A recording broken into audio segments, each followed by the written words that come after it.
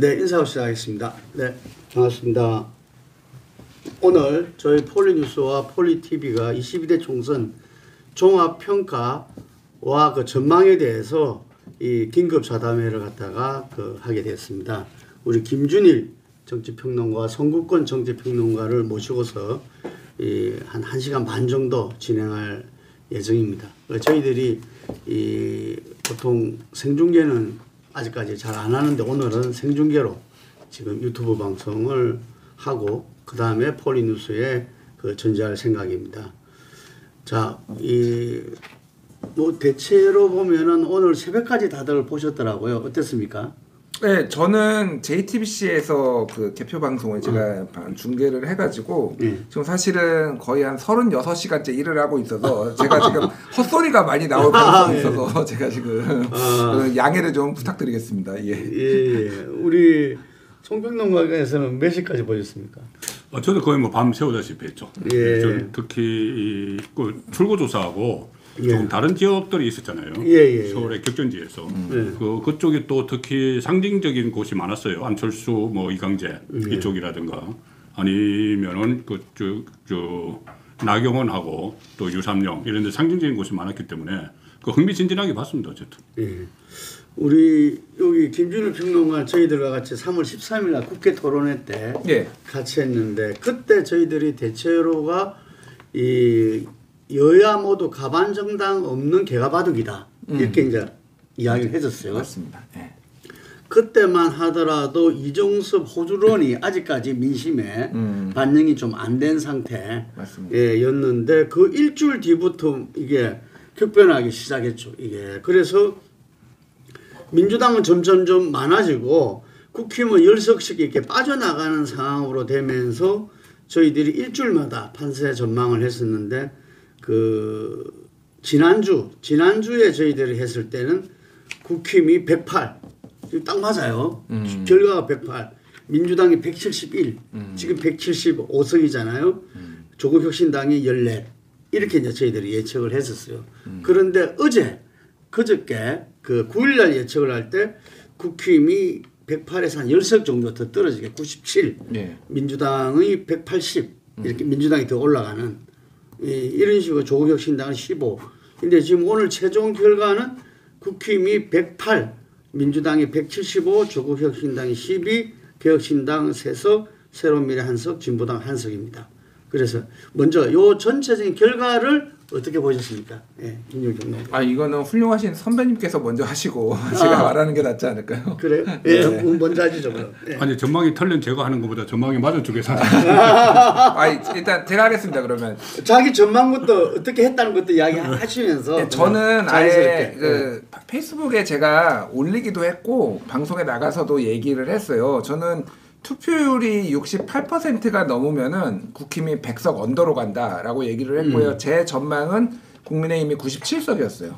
국민의힘이 97석이었고 더불어 저희들랑 같았네요. 예, 거의 비슷한데 더불어민주당이 180 어, 2, 2 어, 182석이었나 그리고 조국혁신당을 13석으로 봤고요. 뭐 기타 등등 이렇게 이제 에, 했습니다. 그래서 음 일단은 이제 뭐 저희가 이제 그 깜깜이 기간에 어떤 뭐 저도 이제 뭐 언론사에서 하는 여론조사를 이제 받기도 하고 그랬는데 뭐 공표 금지였던 그런 건데 골든크로 한동훈 비대위원장이 얘기했던 골든크로스가 거의 없었던 거는 맞는 것 같아요. 그러니까 민심이 특별히 그동안 그 기간 동안 변하지 않았던 것도 맞고 그리고 어떤 여론조사의 흐름이나 이런 걸 봤을 때 200석이 무너질 가능성을 배제를 할 수가 없었는데 결과적으로 보면은 어 국민의힘의 참패는 맞는데 이게 처음에 200석 무너진다라는 그러니까 100석 언더로 간다는 얘기가 나와서 이게 그 출구 조사에서 나온 이후에 이게 올라가다 보니까 뭔가 졌는데 이긴 것 같다는 약간 이런 느낌 이런 느낌을 조금 이제 네. 그리고 그 민주당 특히 열성 지지자들은 아 이기긴 이건 대승인데 약간 찝찝한 아주 마음에 안 드는 뭐 이런 느낌이 나온 것 같아요. 그래서 이거는 결과론적인 얘기고 그렇지만은 집단지성이라는 게 작동을 하다 보니까 결국 국민의 어떤 의견들은 준엄하게 윤석열 정부의 실정을 심판을 해야 되겠다 생각은 하지만은 탄핵까지 가는 건 오바 아니야? 약간 이렇게 결과적으로 민심이 모아졌다 뭐 이렇게 평가를 해야 될 것 같습니다. 네, 그러니까 그 의석이 예를 들면은 가반이 중요한 거고 음. 그리고 이제 국힘 같은 경우 120, 180석을 그렇죠. 차지할 180, 수 있는 180. 그러고 이제 100석이었어요. 음. 근데 어느덧 막판 가니까 100석을 갖다 막아달라 음. 이하를 뭐 이런 식으로 돼서 어쨌든 108석이 됐기 때문에 한편으로 금방 말씀하신 대로 국힘 지지자나 국힘에서는 안도하는 모습 이게 108석을 받고도 안도하는 모습 이런 게 있고 그다음 거꾸로 민주당 지지층에서는 아, 100석을 못 뚫었다 하는 그런 아쉬움이 있는 예, 그런 게 지금 이렇게 나왔습니다. 자 우리 국민의힘 지지층이 지금 안도하는 건 아니고요. 예, 아니- 안도하는 건 아니고 그 안도하는 건 어제 밤 사이에 일어났어요. 뭐냐면은 예, 예. 이그 출구조사에서는 정말 100석도 못 받는다. MBC 같은 경우는 딱 99 최대치 99로 받더라고요. 예, 예, 예. 그러니 아, 백석이 무너지면은 아, 그러면 이제 큰일 났다. 뭐 이게 개헌도 할 수 있고 탄핵도 할 수 있고 그다음에 저기 거부권 행사에도 그 무력화시키고 이런 상황이 오면 큰일 났다고 다들 이제 출구조사 보고 생각을 했죠. 예. 근데 밤새도록 이게- 이게 출구조사가 틀린 지역에 나오면서 백석을 넘어가서 안도를 한 거지 예. 백석 자체에 넘어갔다고 안도한 건 아닙니다. 이거 상당히 실망하고 대낙점하고 있죠. 예. 그 저는 이게 처음에는 상당히 선거가 어려웠어요. 12월까지. 12월까지는 이재명 대표가 계속 그 정권 심판론을 계속 주장을 하- 하고 그게 일정 부분 먹히면서 상당히 어려웠는데 한동훈이 등장 등판해서 1월, 2월 사이에 이 구도를 좀 바꿨거든요. 구도를 어, 정권 심판론에서 이재명 대그 그, 그 한동훈의 구도, 뭐 한동훈 대 이재명 이러면서 계속 뭐 지금 뭐 검찰 독재 정권이면은 당신은 뭐 감옥에 가실 거다 이런 이야기를 막 하면서 다녔잖아요. 그래서 1, 2월에는 분위기가 사- 좀 좋아졌어요. 실제로 좋아졌고 3월 3일 날 조국 신당이 창당을 했는데 그때부터 다시 이게 정권 심판론으로 확 돌았거든요. 이 조국이 모든 걸 처음부터 끝까지 뭐 한동훈 특검, 뭐 윤석열 국정조사 이렇게 막그 거기다 초점을 맞춰서 그런데 그걸 이제 제대로 방어를 못 한 거죠. 그, 그 정권 심판은 그대로 먹혀버린 거예요. 이게 지금까지 2000년대 들어서 다섯 번의 총선이 있었는데 집권당이 승리한 게 네 번이었습니다. 단 한 번 패배했는데 그게 2016년 한, 한식 차례 패배한 거예요. 박근혜 정부 때. 예. 그래서 역대 정부에서는 정권 심판론이 먹혀들지가 않았어요. 실제로는 정권 심판론이라고 해도 어, 저 정권에 좀 힘을 실어주는 그리고 어, 여소야대로 출발을 했어도 여소야대로 끝난 정권이 여태까지 한 번도 없거든요. 왜냐하면 전부 다 중간에 실시되는 선거에서는 여당이 힘을 실어줬기 때문에 한 번도 여소야대 5년을 한 정권이 없어요. 근데 이번에는 5년 내내 이제 여소야대를 하게 됐는데 그 이유가 저는 물론 윤석열 정부의 뭐 국민에게 뭐 실망을 주고 그런 점도 상당히 있지만 있지만 일단은 저는 여론전에서 상당히 밀렸다고 봅니다. 여론전에서 이 정말 그 그리고 프레임을 좀 잘못 잡았고 프레임을 저기서 정권 심판이 나오니까 한동훈 비대위원장이 2조 심판으로 갔잖아요. 2조 심판은 그 전에 그 전에 이재명만 있을 때는 야당 심판을 해도 되는데 2조 심판까지 하니까 그러면 집권 여당이 어떻게 이 야당 심판을 가지고 선거를 치르느냐 이런 말이 나오는 거예요. 정책하고 비전을 가지고 치러야 되는데 그리고 그런 그 전략의 실패가 하나 있고 또 하나는 이 한동훈 원톱 체제로 원톱 체제로 가니까 뒷심이 딸린 거죠. 뒷심이 딸리는데 누가 받쳐주지도 못하는 상황에서 이 결국 이제 정권 심판론이 결정적으로 먹혀버린 거죠. 예. 그 정권 심판론 대 이조 심판론 대결에서 정권 심판론이 그 압도적으로 앞서버린 거예요. 그러니까 그러니까요. 집권당이 그것을 내세울 게 아니었죠. 이제 그게 지금 아마 한동훈 비대위원장이 복귀를 하자면은 금방 말씀하신 두 가지에 대해서 충분히 본인들이 그 이 평가를 제대로 해야 되지 않나 이런 생각이 드는데요. 좀 전에 말씀하신 그 이 역대 선거에서 처음에 여소, 이 여소야대였다 하더라도 그 다음에 그 집권 이후의 선거에서는 사실 여당이 거의 다 이겼다. 뭐라는 말씀을 해주셨는데 이번 선거는 이렇게 저는, 저는 그래 봅니다. 왜 이게 정권 심판이 중요하게 먹혔냐. 제가 어제 제목은 그 이 윤 대통령의 어떤 그 부정평가 에 대해서 속수무책으로 여당은 참패할 수밖에 없었다. 이렇게 이야기했는데 그 직전에 4월 1일에서 5일 리얼미터가 2,511명 전국 18세 이상 조사했는데 무슨 97 유선 3%에서 AR에서 조사한 겁니다. 거기 보면은 긍정이 37.3% 그러니까 거의 마지막 조사에서 37% 8% 대충 나왔던 것 같아요. 이게 그뭐 어제 누군가 그 그런 이야기를 하던데 문재인 대통령 이제 지난 21대 총선에서도 40%였다. 뭐 이런 이야기를. 그러니까 그게 큰 차이가 아니다. 이런 이야기인데 저는 이게서 중요한 게 뭐냐. 부정평가가 59.5%거든요. 이때. 그런데 매우 못한다. 매우 잘못한다는 것이 51.4%예요. 음. 계속적으로 이야기했던 게 윤 대통령의 그 국정 수행 그 부정평가에서는 매우 못한다는 이게 늘 50%를 상회했거든요. 그래서 이걸 해결하지 않으면 안 된다. 라는 것은 1년 전부터 그게 수치로 잡혔고 이 부분에 대해서는 이 그냥 뭐 40% 선이 긍정이 이렇게 왔다 갔다 30% 중반 이게 중요한 게 아니라 매우 부정이 50% 이상 되는. 이거는 이 그냥 그 대통령 국정수행 기간의 대통령의 그런 부정평가와는 달랐다 이게. 이거는 이 굉장히 결집도와 그 부정의 그 강도가 이거는 남다른 거죠 이게. 음. 그 저는 그래서 이번 선거가 정권 심판이 모든 것을 압도해 버렸다. 민주당이 뭐 그 말로 말뿐이 아니라 실제로 민주당이 잘해서 민주당이 이, 이 의석을 차지한 게 아니잖아요 민주당도 이재명의 비명 행사 공천 비판들 많이 하죠. 예, 그 부분도 자기들도 머리 숙였고 하지만 그거보다는 모든 것을 압도하는 거죠.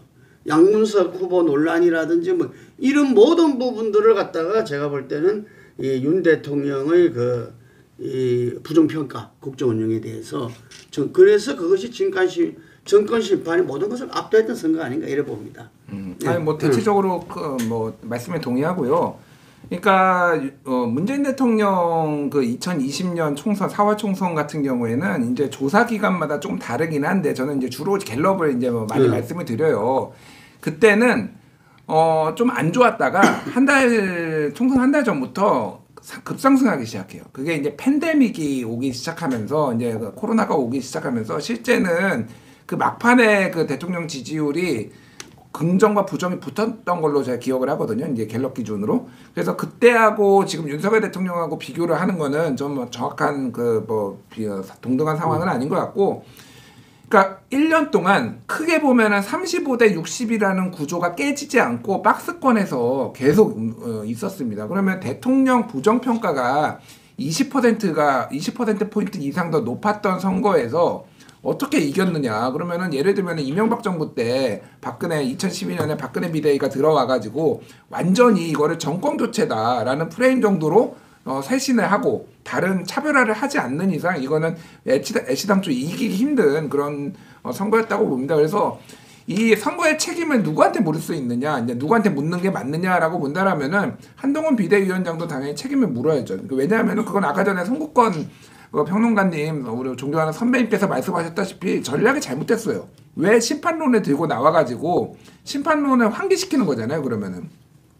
그러니까 뭐 조국 그러니까 쉽게 얘기하면은 이재명하고 조국이 싫어 아니면 윤석열이 싫어라고 사람들한테 물어보면은 누군가는 이재명과 조국이 더 싫은 사람도 있겠지만은 숫자로 보면은 어쨌든 당장 윤석열 더 싫다는 사람도 많은 거예요. 그러면은 싫어 싫어로 대결로 가면은 이거는 지는 게임이었다. 35대 60의 그 구도로 갔을 때는 그렇게 봅니다. 그래서 이거는 한동훈 비대위원장의 전략도 문제지만은 결국은 이거는 대통령이 어 이 패배를 초래한 것이고 마지막까지 중간부터 마지막까지 도움이 안 됐다. 마지막에 대국민 담화를 51분 동안 얘기를 하면서 2천 명을 끝까지 고집을 하면서 의사 집단을 기득권 카르텔이라고 얘기하는 게 도대체 정무적으로 어떤 도움이 되는 것이며 그게 이제 물가 문제를 그렇게 접근을 아니하게 하고 뒤늦게 남아 이제 뒤늦게 가가지고 무제한으로 풀겠다라고 했을 때 어떻게 사람들이 받아들일지 이런 하나하나 판단 하나하나가 대통령이 다 지금의 참패를 초래했다 이렇게 보는 게 맞을 것 같습니다. 저는 이제 그 부분에서 지금 한동훈 비대위원장이 이제 전략을 잘못 짰다 이런 말씀을 하시는데 그 부분은 아까 동의한다 그랬었고요. 그런데 저는 원천적으로 한동훈 비대위원장의 한계다. 음. 윤석열 대통령도 검찰 26년 했잖아요. 그 한동훈 비대위원장도 검사밖에 안 한 겁니다. 검사밖에 안 하니까 자기가 가장 잘 알고 가장 자신 있는 이야기 언제든지 능수능란하게 이야기할 수 있는 그런 이 심판론을 이야기한 거죠. 이게 범죄자를 잡아들이는 거죠. 뭐 예. 범죄와의 전쟁이란 말까지 예. 예. 썼어요. 이게 그러니까 이거는 우리 온 국민이 몹시 피의자가 되고 검찰을 말입니다. 우리가 일반 그 국민들은 잘 겪지 않아요. 경찰 뭐 대부분 순경들은 이렇게 그것도 하고 조금 그 경찰서 가고 이래야지 검찰 단계로 넘어가면 온 사람들이 오금이 저립니다. 검찰로 넘어갔다가 무시무시한 존재들이거든요. 그런데 그런 잠깐만요. 네. 그래서 저는 한동훈 비대위원장 그때 김한길 뭐 지금 국민통합위원장 등등이 나왔어요. 금방 말한 대로 그게 아니라 아까 정책과 비전으로 했어야 됐다 그러잖아요. 그럼 정책과 비전으로 할 수 있는 사람이 비대위원장이 됐어야 되는 거죠. 이게 그래서 저는 지금 앞으로 국민의 힘과 그리고 그 윤석열 대통령이 뭐 총리 이하 비서실이라든지 이 어떻게 꾸려 나갈 것인가 부분에서 이 인재들 갖다가 어떻게 중용하고 그 해나갈지 이게 이제 기존 그 부분들을 확 바꾸지 않으면은 한골 탈퇴하지 않으면은 또 다시 반복될 수밖에 없다 이런 말씀 드립니다.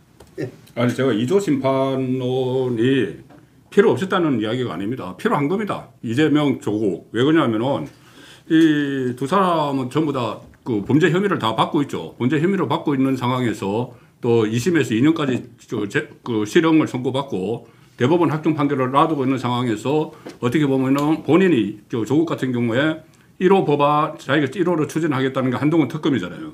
한동훈 특검 내용이 뭐냐면 한동훈 딸 입시비리예요. 그러면 그게 어떻게 1호가 되느냐? 조민이 있기 때문에 그 1호가 되는 거예요.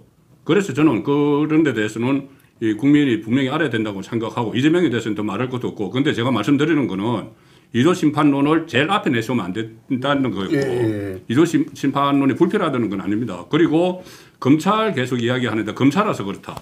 그런데 윤석열 대통령은 검사 검사 출신이기 때문에 대통령이 된 거예요. 국민이 뽑은 거예요. 왜 그러냐면은 문재인 정부 때 그 살해는 권력을 수사를 하다가 그런데 그 뭐 그때 조국 뭐 올 울산시장 선거 그 불법계 전부 다 수사를 하다가 이그 어쨌든 탄압을 당했죠. 탄압을 당해서 본인 입장에서는 탄압을 당한 거죠. 그 뭐 추미애 장관이 뭐 감사건 뭐 인사 인사건 뭐 감찰건 뭐 전부 다 동원해 가지고 뭐 한동훈 자천시키고 이랬지 않습니까? 그래서 그때 국민의 선택을 받은 것이 이 그때 당시의 그런 상황 그러니까 검사로서 공정과 원칙을 지키고 법치주의를 만들려고 한다고 하니까 국민의 선택을 한 거예요 검사 출신을 그런데 지금 모든 거를 이 검사 출신식으로 뭐 범죄를 다루듯이 온 국민을 범죄를 다루듯이 했기 때문에 이렇다 그 그건 저는 동의는 하기는 없습니다. 그, 그 부분에 대해서 이제 홍준표 지금 대구시장이 그 검사 출신이잖아요. 우리 잘 아는 모리식의 모델. 근데 그분이 한 이야기가 있어요. 자기가 자기도 국회의원이 되고 정치를 해보니까 검사 출신들은 한 국회의원 한 바퀴는 돌아야 최소한 때가 조금 빠지기 시작한다. 검사 때가. 예를 들면 검사로서 세상을 바라보고 해나가는 이런 부분들이 몸에 자기 직업이니까 베이스밖에 없죠. 그래서 그런 부분들이 좀 변호사도 하고 하면서 두루두루 이런 입장 저런 입장을 좀 겪어보고 뭐 했을 때는 조금 남다르다. 뭐 이런 이야기인 거죠. 제, 제 이야기는. 자 다음으로 넘어가서요. 우리가 이걸 지역별로 봤을 때 지금 이런 이야기를 합니다. 지금 국민의힘은 수도권하고 충청권에서 참패했다. 그래서 영남 자민련 아니냐 이런 이야기를 해요. 물론 그 PK에서는 부산 같은 경우 방어를 좀 했잖아요. 그런데 이 부분에 대해서 지금 앞으로도 이 상당히 문제다 이런 생각하거든요. 이게 이게 사실 네. 정치 대행을 지금 저그 부분에 대해서는 예. 그 지역주의는 저도 뭐 영남일보에 한 35년 있었기 때문에 예, 예, 예. 또 부산의 국제신문도 있었거든요. 예, 예. 그러니까 이 선거 때마다 제가 14대 총선부터 지지를 해봤는데 항상 그게 그 제 관심거리였고 고민거리였어요. 음. 예, 예. 근데 그게 2016년에 완전히 이게 그 지역 구도가 바뀔 수 있는 계기를 마련했습니다. 대구에서 김부겸 당선됐죠. 그 다음에 저 전남에서 저 이정현 당선되고 예. 전북에서 정운천이 당선됐어요. 네. 그래서 아 이제부터는 좀 제대로 가는구나 네. 했는데 그 저로 이제 이 지역주의가 건물을 쓴다고 했는데 이게 2020년에 다시 그, 그 다시 그 원상 복구되고 지금 그대로 또 상황이 이번에 또 나타났잖아요. 지금 호남에서 민주당이 완전히 싹쓸이를 했죠. 단 네. 하나도 비키지 않았습니다. 그리고 부산에서도 그 부- 어, 그러니까 뭐 낙동강 벨트에서도 상당수 가져갈 거라고 예상을 했는데 그것이 또 불발이 되고 일부만 가져가고 그래서 이것도 이번 그 선거에서 양극단으로 이제 나눠서 하다 보니까 양극단이니까는 양극단이 뭐 어딘가 이 자기들이 천착하는 데가 있어야 되니까 지역적으로 뭐 정치를 하려면 뭐 지역 기반이 있어야 된다고 하니까 지역적으로 양쪽에 천착을 하고 거기에 이 그 그쪽으로부터 모든 이제 표를 받기 위한 원동력으로 이제 삼기 때문에 이 지역주의가 다시 과거로 돌아가 버리는 그런 좀 안타까운 상황 같아요. 국힘은 말입니다.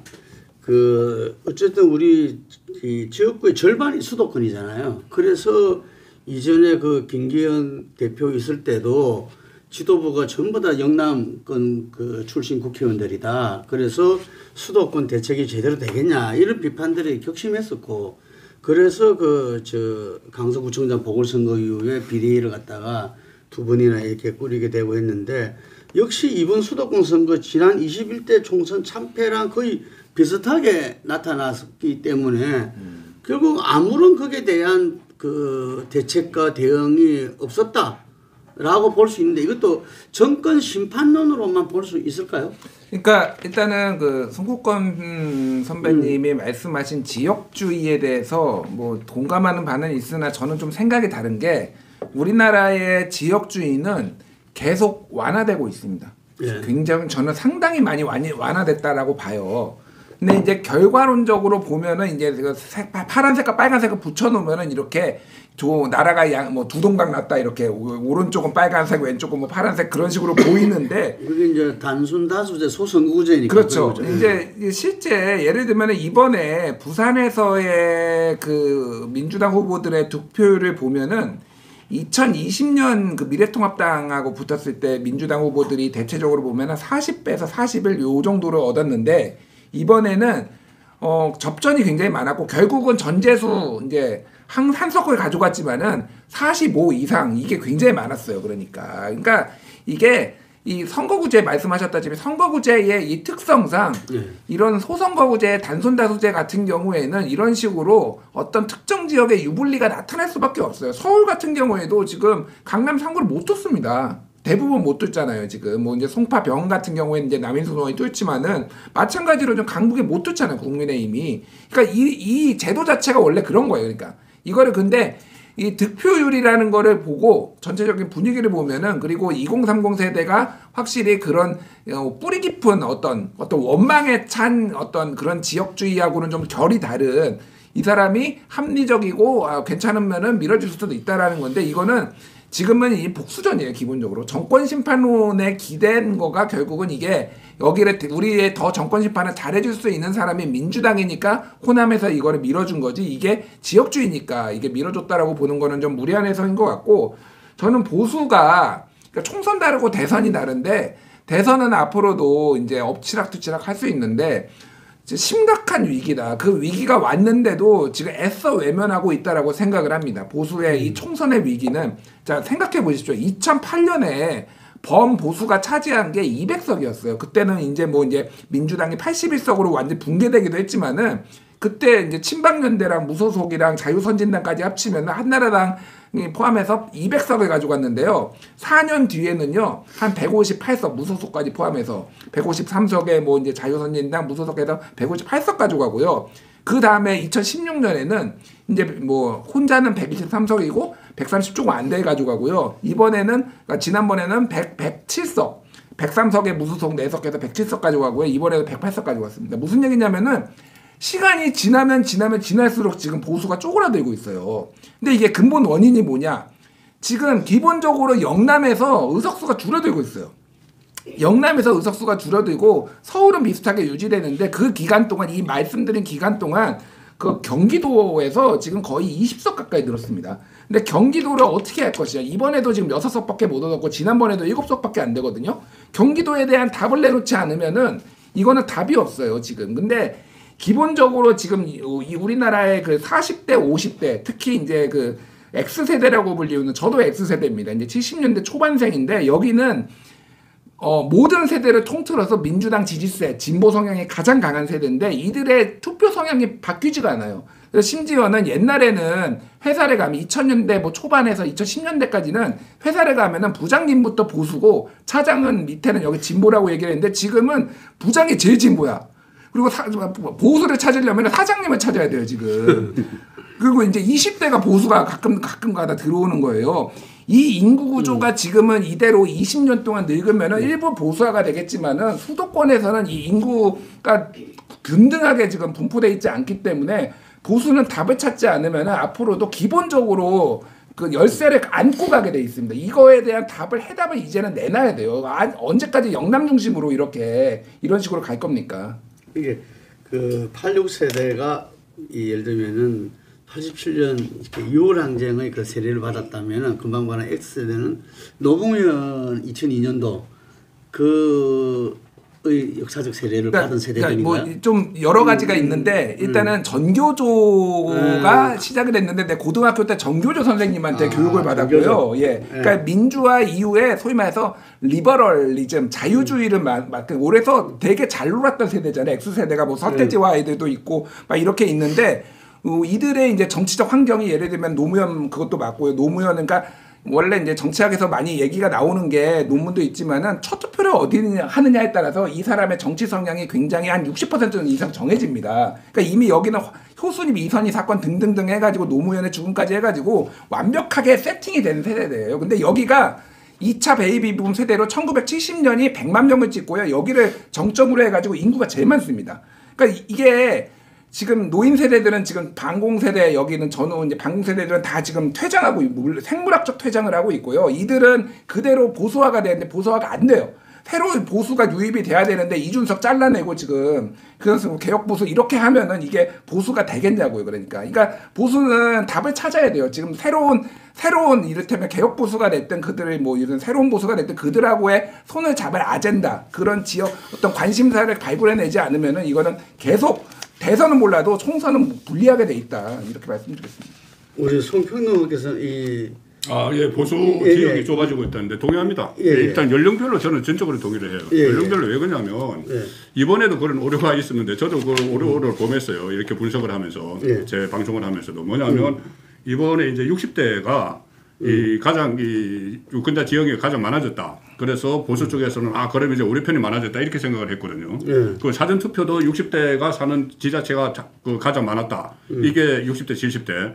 그게 그 한국 그, 그, 그 뭐야 여론조사에서 그렇게 분석을 해서 내놨어요. 예. 그러면 아 사전 투표도 그러면 60대가 많이 했으니까는 어, 국민의힘이 유리할 거야 이렇게 했는데 예. 나중에 보니까 이게 그게 아니고 60대가 초반과 중후반을 나눠야 돼요. 음, 60대가 하니까 700 몇십만이 되던데 200 몇십만이 86세대인 거예요. 그렇죠. 음. 86세대가 60대로 진입을 해 있습니다. 그러니까 아니 그러니까 조국도 60대고 이재명도 60대예요. 그러니까 그쪽이 예, 저 예. 60대 초반에 진입을 해 있어요. 예. 근데 그런 걸 여태까지 너무 간과하고 무조건 60대 이상은 우리 편이야. 뭐 이렇게 됐으니까 그러면 이제 다른 세대 일단 그 세대별로만 보면 다른 세대에서 찾아야 되는데 그래서 찾았던 게 결국 2030이었거든요. 2030에서 이저 그 그것을 그것을 부각시키기 위해서 그 그 뭐야 양문석 양문석의 뭐 땅 문제나 아니면 저쪽에 공영훈 그저집 문제죠 아파트 문제죠. 그 딸한테 이 11억 원뭐 대출 받게 해서 막 만들어주고 그 다음에 또 공영훈 그 아들 이쭉 제대할 때 뭐 30억짜리 땅을 주고 정렬하고 이런 거 이런 거를 막 부각을 시킨 거죠. 2030을 공략을 하려고. 그런데 그게 어 그만큼 조- 조금 전에 이야기하셨던 것처럼 어, 정권 심판론에 비해서 정권 심판론이 그런 것을 어느 정도 좀 덮어버렸어. 그두 사람이 다 당선됐잖아요. 당선되니까 어, 이게 아 한 사람은 떨어졌네요. 한 사람은 떨어지고 양문석은 당선되고 아니요 김준혁도 됐습니다. 됐- 아니 공정은 말이요. 공정은 아, 공룡은요? 네, 20대 공룡은, 예, 예, 2030이 이제 어필을 하려고 했던 이- 공- 이준석이 예. 아니었으면 거기도 됐을 그 거예요. 됐죠. 예. 이준석이 그 그러니까 그 표가 갈 데가 없으니까 이준석에게 갔다가 봐야 되는 민주당 표가. 예. 그래서 어, 그런 것들이 2030에는 그런 걸로는 먹히지가 않는구나. 어, 뭐 그런 또 그 판단도 하고 있을 거예요. 그러니까 이제 제가 볼 때는 우리가 각종 여론조사 지역별이든 전국적이든 봤을 때 4, 50대는 상당히 이렇게 그 완강했어요. 이 처음부터 지지 성향들이 그리고 금방 말한 60, 70대, 60대 이상이 보수 성향을 줬는데 60대도 중반과 후반을 이 나눠서 봐야 됐다 이런 건데 그렇게 되면은 우리가 지난 대선 때 기억나지만 이준석 그 당시 그 당 대표가 세대 포이론을 이야기했지 않습니까? 그래서 어쨌든 간에 이대남이라는 그 어쩌 말하면 한쪽에서는 온갖 욕을 다 얻어먹은 거죠. 이게 그러면서도 이 세대 포이론 아니면 이게 도저히 이길 도리가 없다라고 이제 이야기를 했던 건데 이번에 보면은 지금 그 세대와 중도층을 하- 그 상징했던 사람들이 사실상 그동안 국정과 당 중심에서는 다 떨어져 버렸잖아 전부 네. 다. 그래서 그게 나타난 게 강서구청장 보궐선거에서 그대로 들어 났던 건데 거기에 대해서 대안으로 비대위를 꾸리고 했는데 사실은 그 대책을 이, 못 내놓고 못했다는 이야기인 거지. 이, 예를 들어서. 그럼 이건 앞으로도 계속 숙제지 않느냐. 앞으로도 당을 갖다가 모양상으로 비리를 하고 인사쇄신을 하고 하더라도 그 문제를 해결하지 않으면은 여전히 이거는 총선뿐만 아니라 대선에서도 음. 결국은 그 문제를 갖고 가지 않을 수 없는 거기 때문에 그래서 그 보수가 어, 누가 말한 대로 제가 볼 때는 이게 이 혁신적인 어떤 해체와 재정립의 과정을 갖다가 새롭게 끌어나가지 않으면 이거를 갖다가 해나기가 어렵지 않느냐 이런 생각이 드는데. 그러니까 이념 이념을 네. 떠나야죠. 지금 이념 가지고 아. 과거 뭐 보수 진보 좌파 우파 이념 가지고는 지금 그 보수는 설탕은 진짜 실제로 없어요. 그게 중요하겠네요. 네, 네. 그러니까 그 이념보다 이제 실용을 가지고 따져야 되고 실력을 가지고 따져야 되는 거예요. 네. 그러니까 보수는 그 과거부터 이렇게 뭐 국가 운영을 한 경험도 많고 어, 또뭐 어떤 그 인적 자원도 있고 하니까 어, 우리가 실력이 낮다. 실용적으로 우리가 정치를 하면은 국민에게 더 도움이 된다. 이걸 이제 계속 이야기를 해야 되는 건데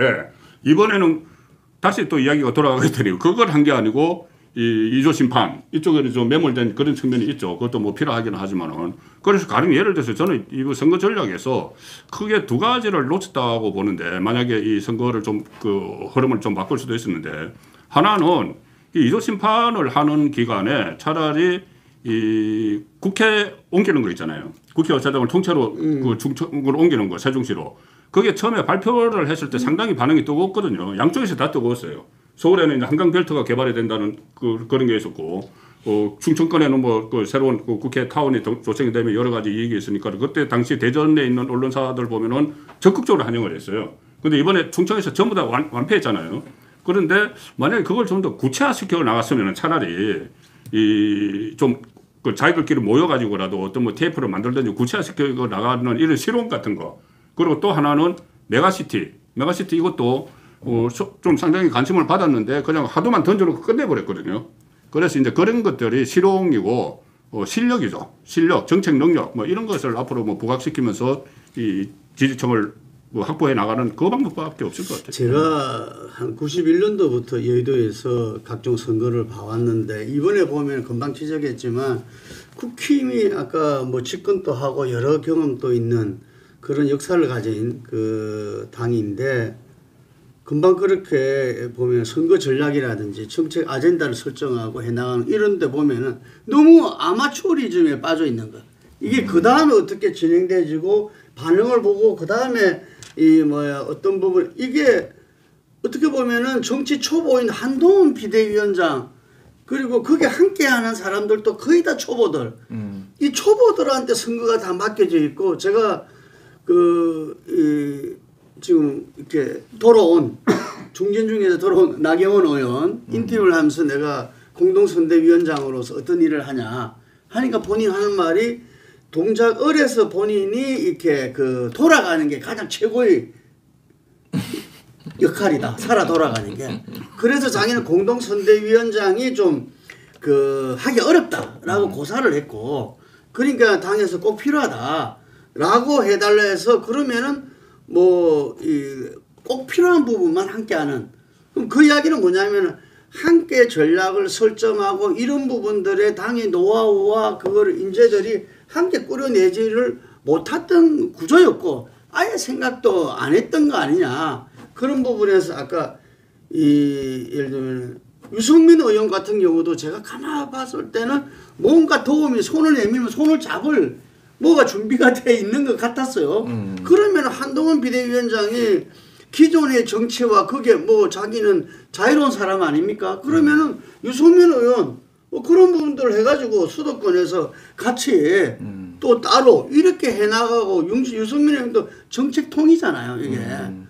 그럼 정책을 맡기든지 뭐든지 이랬어야 되는데 이게 뭔가 이게 그 그런 여당의 풍부한 어떤 프리미엄과 인적 자원들이 다 없어지고 그냥 이렇게 빼닥이 남아서 선거를 치는 거 아닌가 이런 음. 생각이 들더라고요. 그러니까 뭐 우리 대표님 음. 말씀에 대체적으로 다 공감하고요. 그러니까 이게 그러니까 보수가 지금 조금 음 비극적인 게 뭐냐면은 언제부터인가 스스로 리더를 만들지 못하고요. 외부에서 영입을 하기 시작합니다.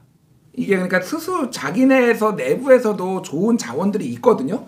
근데 갑자기 이제 뭐, 뭐 윤석열을 영입을 한다든지, 물론 이제 선거를 뭐 이기기 위해서는 누구하고도 손 잡을 수 있는 건데, 스스로의 그 훌륭한 어떤 자원들을 활용을 하지 못하고 있는 건데, 이게 저는 뭐 여러 가지 이유가 있겠지만은 그 이념적 경도성, 이게 굉장히 큰 것 같아요. 지금 보수가 이제 전체적으로 그 반공 보수가 아직도 이제 전체 이 영남 중심으로 해가지고 이게 패권을 잡고 있기 때문에 여기에서 벗어나지 못하면은 굉장히 어렵다라는 거고 저는 윤석열 대통령이 역대 보수 대통령하고 좀 다른 점이 있다라면은 역대 보수 대통령은 어쨌든 그 캠페인 기간이나 그 내세웠던 거는 결국은 어떤 능력이었고 민생이었거든요.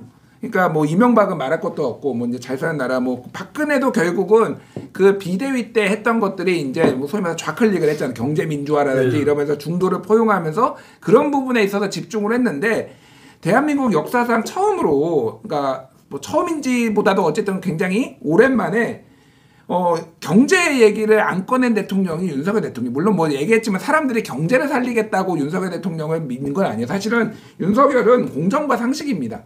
본인이 내세웠던 건 공정과 상식인데 이 공정과 상식이 굉장히 빠른 시간 안에 무너졌는데 무능하기까지 한 것이 이제 물가 문제라든지 경제 문제라든지 지금 89조, 87조 원 지금 적자 났다고 오늘 발표 났잖아요. 지금 작년에. 완전 역대 최고 이런 정권이 없어요. 그러니까 이게 가장 뼈 아픈 게 뭐냐면은 보수는 부패하지만은 유능하다. 이런 뭐, 뭐, 프레이, 캐치 프레이즈는 아니지만 이런 말이 있었잖아요. 이제는 부패하지도 부패도 하고 무능도 해. 뭐 이런 거고 보수 뭐 진보는 무능하지만은 뭐 청렴하다는데 글쎄 뭐 청렴하지는 않고요. 보수보다 좀 더 부패했을 가능성이 제가 보기엔 높은데 어쨌든 진보가 더 유능한 것 같아. 이런 식의 어떤 본인들의 장점을 지금 굉장히 많이 상실하고 있는 것 같아요. 그래서 보수의 가치라는 것도 중요하고 그렇지만 그 이념 보수에서 벗어나고 말씀하셨다시피 보수주의가 진짜 무엇인가 이거에 대해서 좀 다시 한번 생각을 해보고 이준석 좀 그만 괴롭히고 이준석 좀 받아들이십시오. 제가 보기에는 이준석이 장기적으로 봤을 때는 보수의 미래입니다. 예. 그 예, 아시겠지만 지금 그 보수가 계속 선거에 연이어 참패를 하다가 그 서울시장, 부산시장 보궐선거에서 오세훈하고 박경규 시장이 되면서부터 이제 다시 승리를 가져오게 되잖아요. 예, 그 전에 참패를 계속 했을 때 영국 보수당에 대해서 공부를 많이 했어요. 음. 예, 그 국민의힘 당시 계열에서. 예, 그랬는데 그게 결국은 보수당이 살아난 게 금방 우리 송국근 평론가에서 말하는 실용으로 갔거든요. 이게 이념을 좌파 우파를 갖다가 버리고 실용으로 가서 다시 국민의 지지를 받게 됐는데 지금 여전히 그게 쉽지 않을 겁니다. 아까 말한 대로 그 반공 보수가 우파가 지금 핵심의 핵심을 장악하고 있기 때문에 그 부분 가지고 모든 것을 갖다가 이렇게 재단하고 하는 거기 때문에 그걸 넘어서는 게 쉽지 않을 건데 어쨌든 거기에서 뭔가 그 중간 어디쯤가 자기 좌표를 잡고 가야만이 국민들이 되리라 보고 저는 이런 생각이 들었어요. 이 수도권 선거에 지난번에 참패하고 나서 과연 이 당이 대책이 뭐가 있을까? 제한테 만약에 그 컨설팅을 의뢰한다면 나는 뭐라고 이야기해 줄까 생각을 한번 했었어. 뭐, 그 지도부 있는 사람들이 이런저런 이야기도 했고 가끔씩 뭐 식사하다고 하니까. 근데 제가 딱 보니까 작년 초에 윤석열 대통령이 저하고 똑같은 이야기를 했어요. 중대선거구제를 이야기한 거예요. 바로 이거다. 지금 어차피 금방 이야기했던 세대에서 4, 50대 아주 강고한 민주당 진보 성향의 지지와 60대도 이제 60대 중반 이후가 보수지 초중반은 지금 이제 진보 성향이 그 있는 거. 20, 30대는 이거 모르는 거고 이거는. 그랬을 때 이게 단순 그 이 다수제의 소선거구제로서는 도저히 수도권 선거를 돌파할 수 없을 것이다. 그래서 이건 중대 선거구제로 가야 어느 정도 예를 들면은 뭐 전체 수도권 의석에서 최소한 3, 40%가 더 받을 수 있지 않겠나. 그래서 야 이거는 묘안이다. 묘책이다. 이건 누가 내는지 모르겠지만 대통령이 그걸 갖다 공개적으로 이야기했으니까 그 상당히 기대를 가졌어. 물어봐서 제가 국민의힘 그 의원들이나 이렇게 인터뷰할 때마다 물어봤어요. 근데 반응들이 전부 다 이 글쎄요였어요. 글쎄요. 아니나 다를까 그 김진표 국회의장은 자기는 개헌으로서 모든 성부를 걸겠다고 그 하면서 그게 어, 대통령이 그 중대선거제를 이야기했기 때문에 얼마나 열심히 했습니까? 하는 척만 하더라고 보니까 결국에서는 소선거구제로 그냥 가고 뭐 병리비용으로 가다가 지금 연동형 비례제로 갔는데 제가 생각할 때는 이 부분이 아마 가감하게 중대선거구제로 바꾸지 않는 한은 총선에서는 답이 없을 것 같아요. 요거는 제가 짧게 말씀드리면은 뭐 우리 송국권 평론가님께서 더 잘하시겠지만은 그러니까 국민의힘에서 중대선거구제를 바라보는 거는 영남과 호남을 생각해요. 야, 우리가 중대선거구제 하면 영남에서 내주는 게 이렇게 많고 호남은 몇 석, 28석 중에 우리 몇 석이나 가져올 수 있어. 그러니까 수도권은 기본적으로 아직도 야, 잘하면 반반 먹을 수 있어. 이렇게 생각을 하는 접근법이니까 이게 손해로 보이는 거예요. 그러니까 호남만 먹는다고. 근데 제가 계속 말씀드리지만은 경기도는 답이 없어요, 지금. 경기도는 농담이 아니라 지금 같은 정권 심판원이 없더라도 20석 넘기 힘들면 60석 중에 20석 넘기가 힘들어요. 그러니까 그러니까 예전에 박근혜가 2012년에도 21석밖에 못 썼습니다. 그때도. 근데 그때는 뭐 저 전체 의석수가 좀 더 작긴 했지만은 뭐 경기도가 계속 늘어나고 있거든요. 그러니까 발상의 전환이 되는데 영남이 지금 중심이 돼가지고 영남이 다 지도부가 돼 있는데 야 영남에서 그 기득권을 내려놓을까요? 그래서 중대선거구제가 안 되는 이유는 생각보다 그 영남 요 의원 중심들이 있으면은 저는 좀 불가능할 거다. 그러니까 수도권은 거의 점멸하고 몇 석 안 되고 몇 명 안 되고 의원은 몇 명 안 되고 다 영남인데 이거를 내려놓을 사람이 있을까요? 저는 그렇게 보지 않. 그러니까, 그러니까 조, 좋은 아이디어 중에 하나인데 가능하지 않다. 지금의 그 국민의힘 인적 구성으로 봐서는. 네.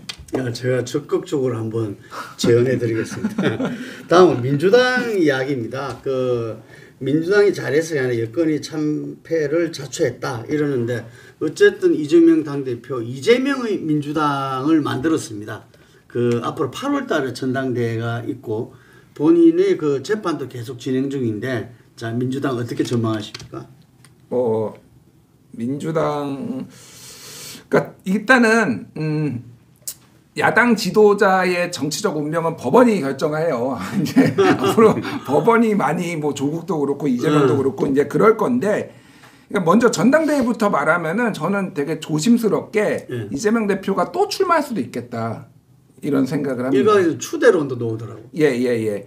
그러니까 이게 이게 소위 말해서 옛날에는 민주당에 많은 개파들이 존재를 했고 이게 네. 서로 이제 균형과 견제도 있고 그랬는데 지금은 이제 거의 이제 친명 사실은 이제 친문 때부터 어느 정도 그런 조짐이 보이기 시작했는데 지금은 이제 전통적인 민주당 그 과거의 개파 연합 정치는 이제 거의 끝났다고 보면 되거든요. 예. 그러면은 어느 친명이 지금 민주당의 친명이 아닌 사람이 거의 없는데 거의 다 친명인데 어느 친명이 나오든 이재명 밑이에요.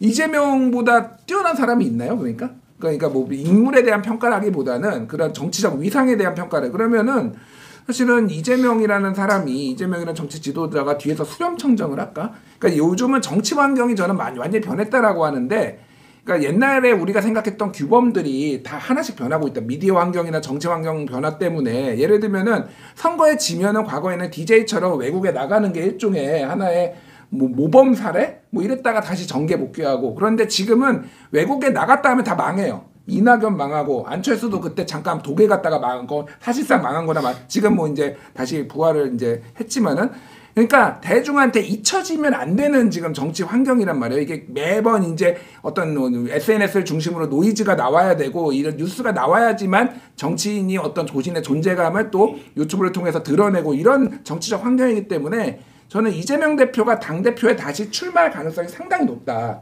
그리고 그 앞으로 본인이 진짜 야당 지도자로서 대접을 못 받았다고 생각을 하고 이제부터면은 대통령하고도 뭐 협상을 하든 뭐라든 할 수 있을 거다라고 본인은 아마 생각을 할 거예요. 그렇기 때문에 저는 이재명 어, 차기 당 대표가 굉장히 유력해 보인다 이렇게 말씀드리겠습니다. 그 DJ가 그 92년도 대선에 치고 영국 갔다 왔잖아요. 그래서 네. 새정치 국민회의를 만들고 그 97년 대선을 앞두고 이제 그 전당대회를 하고 그 당대표 경선과 그 후보 경선을 하게 됩니다. 음. 그럴 때 아무도 나올 사람이 없어. 음. 예를 들면 예, 그래서 설득 설득을 해가지고 당대표 경선에는 김상현 의원 그리고 그 이 대선 후보 경선에는 정대철 의원이 나오게 되죠. 이게 그런데 김상현 의원이 제 기억으로는 그때 한 20% 받은 것 같아요. 2대 8. 그 혼자 나와서 혼자 되는 건 좀 그렇잖아요. 이게 그래서 저는 지금 이재명의 민주당에서는 아마 뭐 추대 이야기도 나오는데 추대도 조금 그렇잖아요.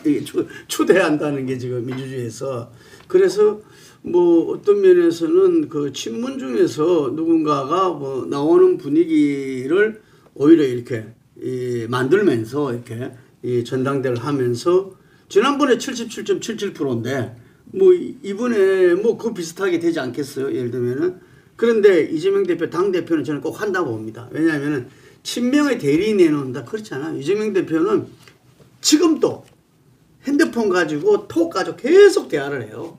계속 대화를 하고 그 다음에 당 대표가 가지는 부분들을 갖다 너무나 잘 알고 있어. 금방 말한 대로 계속 뉴스에 스포트라이트를 받게 되는 거고 그게 만약에 당 대표 아닐 때는 천장지차가 되는 겁니다. 그거는 예, 그렇기 때문에 예, 본인의 여러 가지 구상들 사법 리스크를 극복하고 그 다음에 윤석열 정부에 대해서 이제 이 윤석열 대통령이 만나지 않을 수 없을 거라고 저는 생각합니다. 이게 예, 그러면서 다음 대선을 바라보고 나가는 데서는 일단 그 대선을 앞두고는 그 어떻게 하더라도 지금은 지금 다지기 이재명의 민주당을 갖다가 다지기 차원에서라도 지금 바뀐 전국에서 중심으로 또 마, 마치 그것이 또 책임지는 정치다 이래 볼 수도 있지 않겠습니까?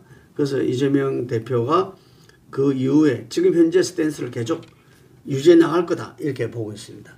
그렇겠죠. 그렇게 하기 위해서 지금 뭐 비명 행사, 친명 행제 만들었잖아요. 자, 이거 본인이 당을 계속 가지고 그래야지 뭐 사법 리스크도 방어를 하고 방탄이 되기 때문에 그리고 바로 거기서 당 대표로 만약에 내놓고 뒤로 물러나면은 어, 앞으로 그 본인이 금배지는 달았다고 해도 사법 리스크를 제대로 방어 못 합니다. 그 지금 당 차원에서 방어를 해주고 있잖아요. 네. 그래서 좀 본인이 당 대표로 다시 나갈 텐데 뭐 추대를 받든지 음. 그렇지만 조금 전에 말씀하셨다시피 이재명의 민주당은 만들었는데 네. 이재명의 법약은 아니거든요. 지금, 지금 이재명은 상당히 큰그 네. 지뢰를 하나 지금 그 밟았어요. 뭐냐면은 조국입니다. 예. 조국이 이게 그냥 조국 돌풍이 그냥 나온 게 아닙니다. 이게 조국 개인에 대한 그런 것도 있지만 그거를 받쳐주는 인물, 그 세력은 친노 친문 세력이에요. 네. 기억을 해보시면 준연동 형제를 폐기하겠다고 했죠 이재명이 예. 그 위성정당 그 문제 때문에 그런데 양산에 가서 문재인 전 대통령 만나고 나서 그 다음 날 강조해서 유지하겠다고 했어요. 그때 문재인 전 대통령 뭐라고 했냐면은 준연동 형제를 해, 서 여러 가지 좌파 사람들을 다 끌어모아야지 음. 당신 앞으로 대통령 되는데 도움이 돼 이렇게 이야기를 했어요. 예. 그러니까는 오케이 해서 이재명이 그 다음날 준연동 형제를 해서 지금 실제로 비례대표 안에 진보당 출신도 막 넣고 막 했잖아요. 그런데 가장 큰 그 가치를 따는 게 누구냐면 조국입니다. 음. 조국이 지금 비례정당 후보만 내서 지금 14세인가 가져가 버렸잖아요. 예. 그리고 만약에 준연동 형제가 아니면 조국은 저렇게까지 그 성과를 낼 수가 없었어요. 이번, 12석. 이번에 예, 12석. 이번에 예. 성과를 낼 수가 없었어요. 예. 그런데 그러면 그 텃밭, 밭을 누가 만들어준 거냐? 문재인 전 대통령이 만들어준 거죠. 예. 그리고 그, 그, 그리고 또 그쪽에 실제로 간 사람도 그 문재인 정부 청와대에 있던 사람도 가고 또 박원정 검사나 이런 사람들도 가고 친문 검사도 가고 했잖아요.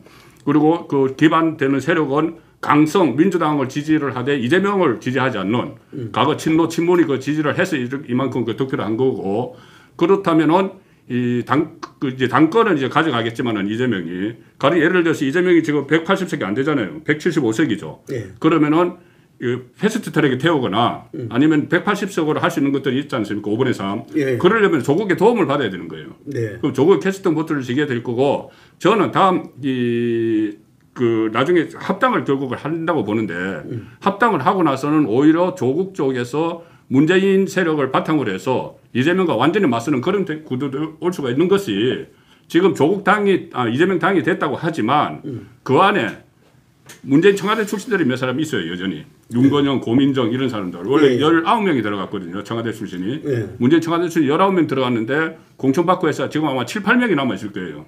그렇다면은 그 사람들은 나중에 이재명과 조국이 대치를 했을 때 뒤에 문재인이 있기 때문에 조국 쪽으로 갈 수가 있죠. 그래서 저는 이재명이 지금은 완, 완전히 그 이재명 세상을 만든 것처럼 보이지만 야권에서 큰 지금 지뢰를 하나 밟고 있다. 그런 생각입니다. 이번 총선의 돌풍은 조국 혁신당입니다. 자연스럽게 조국 혁신당 그 조국 당선자 이야기로 이렇게 넘어가는데 자 지금 이 분석에 대해서 어떻게 보십니까? 아니 대체적으로 동의는 하는데 조금 음. 이제 동의가 안 되거나 음. 조금 반대되는 음. 거가 말씀드리면은 음. 일단은 조국 혁신당하고 준연동형 음. 비례대표제하고는 상관이 없어요, 사실은. 왜냐하면은 음. 위성 정당을 다 만들었기 때문에 이거는 사실 병립형이나 마찬가지입니다. 이거는 그냥 그러니까 의석수 배분하는 게 더 손해 보거나 더 간 것이 없어요. 왜냐하면은 조국 혁신 그러니까 2%의 뭐 이번에는 좀 사표가 많아서 1.7%뭐 1.4%가 한 표인데 약간 정확하게 모르겠는데 그냥 그 의석수 지지율대로 그대로 의석수를 가져갔습니다. 그래서 별로 큰 의미는 없고 그러니까 저는 합당을 할 수도 있다고 생각을 하는데 그 시점이 언제인지에 대해서는 잘 모르겠어요. 그러니까 대선 전에는 저는 합당할 가능성이 없다고 보거든요. 2027년 대선에는 이미 아, 대선 전에 합당을 저는 합당 안 한다고 봅니다. 그럼 그게 앞으로 3년 뒤인데 예, 예. 그 안에는 합당을 하, 그러니까 어, 어. 독자 노선은 이미 본인들이 음. 얘기를 했고 합당을 했을 때는 이거는 흡수당할 가능성이 높아요. 지금은 예. 지금은 그러니까 이거는 인물 중심으로 보면은 조국이나 이재명이나 거의 굉장히 동등한 야당의 약간의 거목 같은 느낌인데 음. 이거를 만약에 만약에 뭐 당원 투표 같은 걸로 하기 시작한다. 뭐를 이렇게 의사 결정을 하는데 그러면은 지금 이재명을 이길 수 있을까? 그거 제일 잘하는 게 이재명이잖아요. 당원들 동원해서 뭐 이제 개딸 뭐 소위 말하는 이제 강성 지지자도 음. 동원한 물론 조국에 대한 그 어, 조국에 대한 여성 지지자도 많지만은 그렇게 둘이 붙으면은 이거는 무조건 이재명이 이재명이 이긴다고 봐. 이재명은 그걸로 지금까지 정치를 해왔던 사람이에요. 그렇게 자기가 성남시장부터 그렇게 커왔던 사람인데 그동안 어떻게 이 당이 변해가는지를 다 친문들이 지켜봤을 텐데 그러니까 나중에 다양한 정치적 환경 변화로 뭐 탈당을 하거나 이럴 수는 있어도 저는 합당이라는 거는 두 사람이 완전히 한쪽이 무너지지 않는 이상 그거는 불가 불가능하다기보다는 조금 어, 그 원하지 않을 것이다 이렇게 저는 봅니다. 그래서 이제 아까 말씀드렸지만은 사법 리스크가 가장 중요한 변수가 될 것 같아요. 일단 조국이 대법원에서 어 이렇게 2년 확정형을 받는지 파기환송을 받는지 그리고 이재명이 특히 이제 그 어 위증 조사 같은 경우에는 빨리 나올 수 있거든요 생각보다 위증 조사가 유죄가 나온다든지 뭐 이런 거에 따라서 굉장히 좀 정치 지형이 변할 가능성도 있겠다 이렇게 봅니다. 네. 그 조국 혁신당에서는 뭐 바로 이 오늘 혹은 내일부터 바로 움직이겠다. 음. 이 신장식 대변인이 그렇게 그 이야기를 하고 조국 대표는 더 빠르게, 더 강하게, 더 선명하게 하겠다. 이 본인들이 하기 전에 그 선두의 망치선 역할을 하겠다. 음. 뭐 그렇게 이야기를 하면서 한동훈 특검법을 갖다가 그때 1호 부반으로 내겠다. 뭐 이렇게 이야기해서 이번 총선이 그 혹자들은 이게 복수 혈전이냐 뭐 이런 말도 하고 있어요. 그래서 이 상당히 조국 혁신당이나 조국 대표가 그 스탠스를 갖다가 어떻게 가져가는가에 대해서 상당히 그 주목하고 있거든요. 이게 이 선거 때 이렇게 메시지를 내놨던 거하고 실제 정치를 풀어나가는 데 있어 가지고 이분들도 이런 이야기를 했더라고요. 한동훈 특검법 하더라도 민주당하고 공조하지 않으면 안 되니까 그 부분을 협의를 해나가면서 하겠다. 뭐 이런 이야기를 했는데 제가 개인적으로 생각할 때도 아마 이거는 이 따로 같이 가는 게 맞지 않느냐. 그러니까 통합이 아니라 따로 있으면서 뭔가 열석이 열두 석이니까 지금 이제 그 독자적인 법률 그 제한 그거는 있잖아요. 이게 그 그런 가운데에서 이 원내 교섭 단체가 뭐 꾸리지기는 쉽지 않을 건데 그렇게 되면은 이게 상당히 그 대여 관계를 국회에서 푸는데도 또, 또 다른 힘이 되는 거죠. 왜냐하면 일방적인 독주로 안 보일 수도 있으니까. 그래서 뭐 어영 꺼주기를 할 수도 있는가 이런 말도 나오더라고요. 뭐 그러지는 않을 것 같고 그래서 어쨌든 간에 지금 보면은 조국 대표가 거의 대선 주자가 지금 된 거잖아요. 근데 금방 말한 사법 리스크 때문에 어떻게 될지가 궁금한데 아까 우리가 시작 전에 이야기 나왔지만 뭐 일부 이렇게 거기에 대해서 파기환송이 된다든지 이래 되면은 조국 대표의 그런 이 뭐야 본인은 그 대법원 판결 받고 가서 책도 읽고 운동도 하고 하겠다죠. 그게 길어질 수도 있잖아요. 의정 활동이. 다시 고법 갔다가 또 올라오려면은 그렇죠. 대선 대선 치르겠네요. 그죠. 그러니까 그럴 수 있다는 이야기인 거죠. 이게. 그래서 어쨌든 지금 조국 대표가 이 상당히 아까 친노 친문들이 갖다 지지하고 있다는데 하나의 그 진보라 할까요? 그이 이, 이 민주당을 포함한 세력 전반에서 보면은 또 다른 어떤 그 이 지지 세력을 분명히 갖고 있다. 그리고 180석 대 21대 국회에서 못했던 부분들에 대한 기대감 이런 부분을 안고 있다. 이게 상당히 다른 것 같아요 보니까. 저는 이 조국 그 신당에 대한 지지가 이 선거용이지 선거 이후에 국정에 참여하고 이거 아니라고 봅니다. 왜냐하면은 유일하게 정책을 하나 내놓은 게 그때 임금 정책이었죠. 네. 중소기업과 대기업 임금을 맞추면은 대기업 임금을 그 깎으면은 세제 혜택을 주겠다. 이거 민노총에서도 상당히 비판을 했잖아요. 어떻게 그러면 대기업만 좋은 일 시키는 거죠. 임금도 안 나가고 세제 혜택 받고 말이 안 되는 거잖아요. 그래서 민노총에서도 이 지, 지적을 받으니까는 뭐 좀 더 구체적으로 뭐 총선 후에 다시 생각해 보다 이런 식으로 넘어갔는데 그런 정책적인 부분은 전혀 없어요 현재. 딱 있는 게 뭐냐면 오늘 3시에 이 조국 대표가 검찰청 앞에서 또 기자회견을 해요. 검찰 개혁 이야기하는 거예요. 오로지 검찰 개혁인데 그러면은 문재인 정부 때 또 조국이 민정수석 법무부 장관 할 때 검찰 개혁 할 거 다 했습니다. 제도적으로는 다 했어요.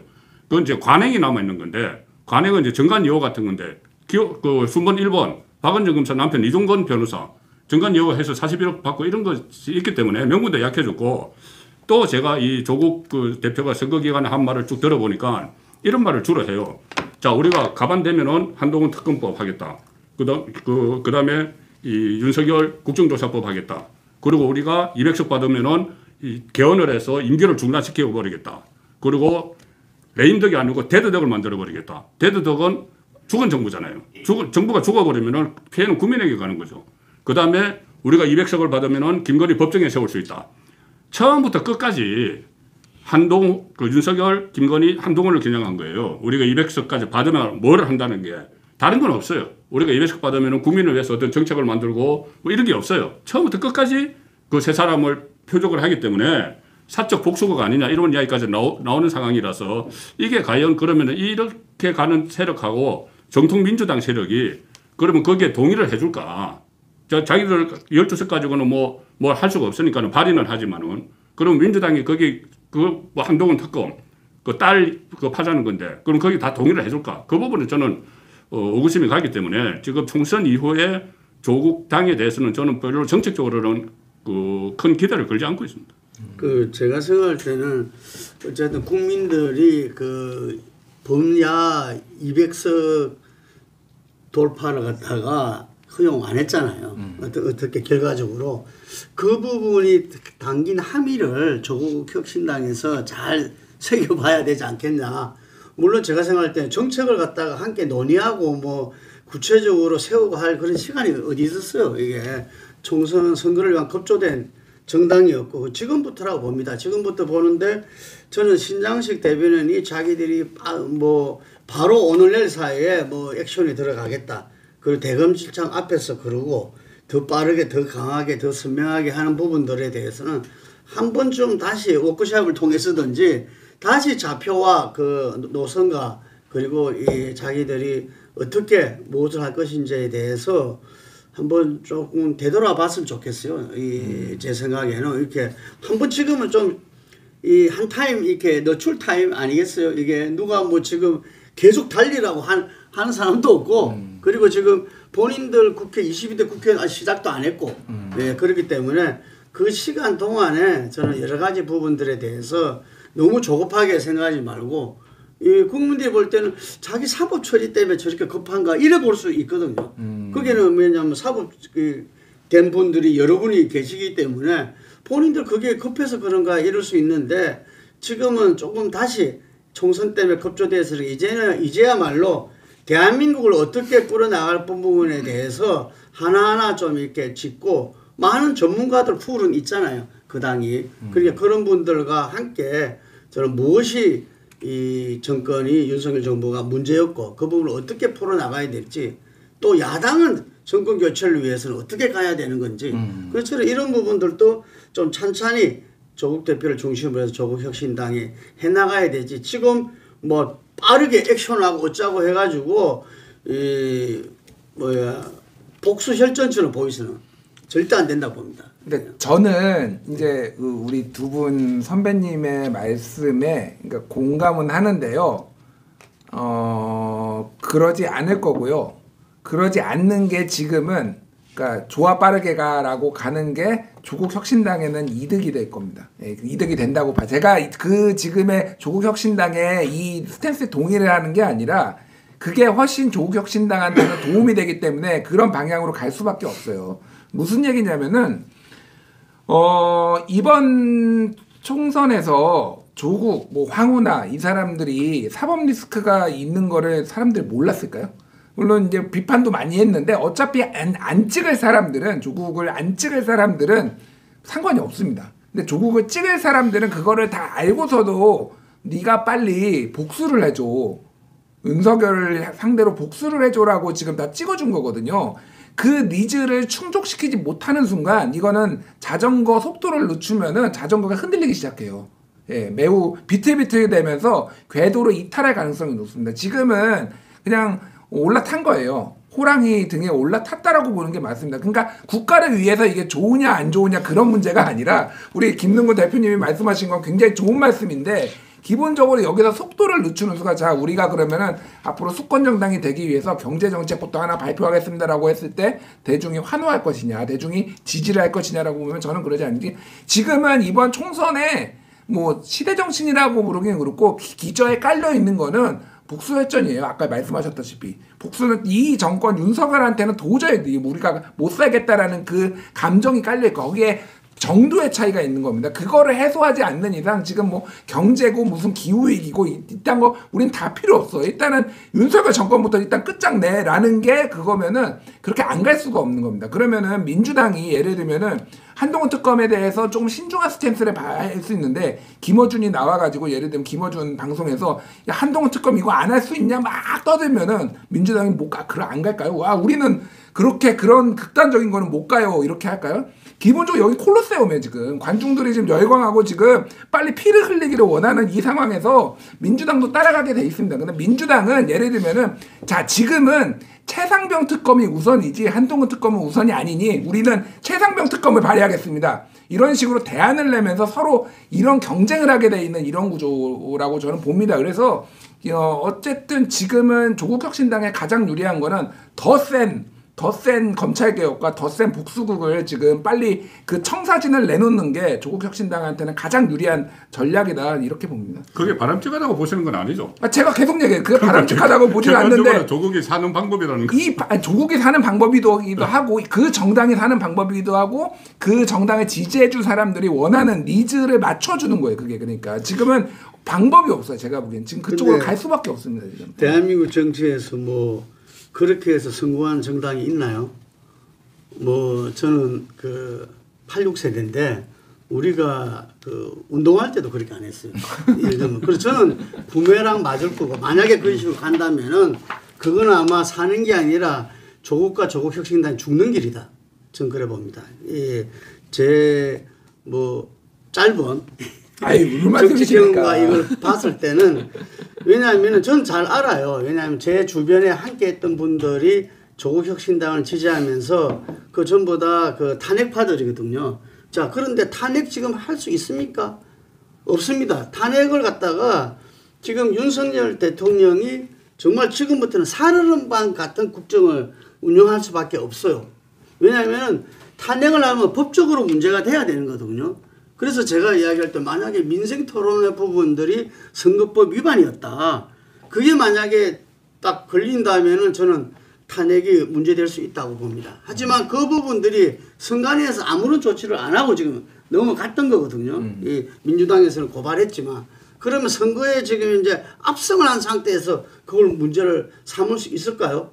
삼으려면 그 전에 저는 고발은 했지만 이걸 정치적으로 문제화 시켰어야 되는데 그러지 않았다. 저는 그 조국혁신당이나 민주당 다 형식적인 고발은 돼 있습니다 지금. 그거는 별로 중요하게 그쪽 진영에서 생각 안 하고 안 가장 네. 핵심은 사실은 최상병 쪽으로 보여서 최상병 특검이 아마 굉장히 빠르게 진행될 가능성이 거기에서 불법적으로 대통령이 개입한 거는 이거는 탄핵 사유가 된다 이렇게 돼서 이제 뭐 실제 통과되기는 쉽지 않겠지만은 이제 이런 식으로 전국에 갈 가능성이 높다고 봅니다. 그래서 저는 그 한편으로는 지금 현재는 그 윤석열 대통령한테 마지막 시간이 주어지는 거 아닌가. 예, 마지막 시간이 주어지는가. 뭐 3년 길다 그랬는데 한 번에서는 시간이 주어진다고 봅니다. 그래서 지금 우리 그 뭐야 여러 이야기를 했기 때문에 마지막으로 과연 윤석열 대통령이 어떠한 정도의 국정 쇄신을 해내야 것인가 한번 그 이야기를 좀 해봤으면 좋겠습니다. 우리 정무권 현실적으로 예. 현실적으로 지금 윤석열 대통령 3년 남았잖아요. 예, 예. 3년 남았는데 이 상태로는 국정 운영 진짜 안 됩니다. 레임덱이 아니고 대대덱이 될 수 있어요. 예. 조국이 이야기한 대로. 그러면은 가장 이, 이거를 해결할 수 있는 가장 현실적이고 유효한 방법은 야당의 협조를 받는 거죠.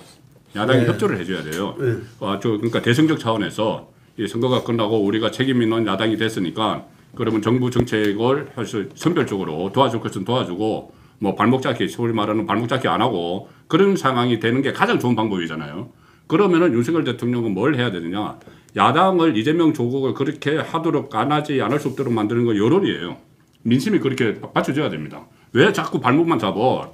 그 다수다고. 그, 그러면 안 돼. 그, 좀, 정부 하는 것도 도와줘야지. 하루면 민심을 먼저 얻어야 돼요. 음. 선거는 끝났지만은, 어, 뭐, 표로 나타나는 그 여론, 민심은 이제 실패를 했잖아요. 근데 전반적으로 흐르는 민심을 아, 좀 돌아서서 그, 좀 받쳐주면은 야당도 그렇게 그 독단적으로 잘 못하거든요.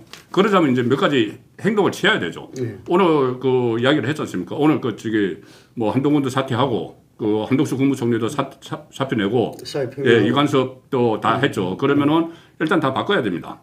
싹 바꾸고 음. 바꾸고 또 특히 윤석열 대통령이 국민 앞에 나와야 된다고 저는 봐요. 음. 지금까지 저는 그 처음에 도어 스태핑을 했을 때 그 기조가 엄청나게 저는 좋았다고 보거든요. 네. 물론 도중에 좀그 여러 가지 말 실수도 나오고 또뭐 사달이 일어나서 그만뒀지만은 도어 스태핑을 안 했더 안 하더라도 언론과 소통을 계속 했어야 됩니다.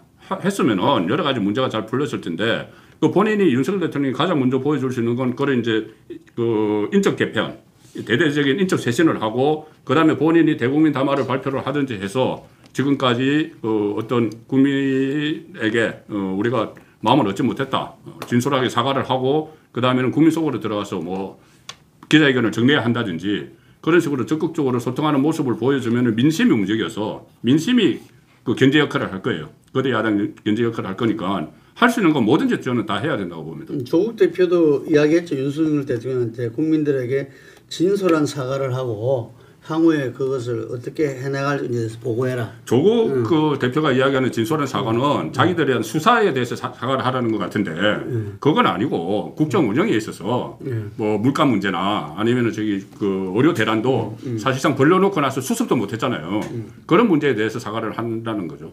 야, 저거당 김준.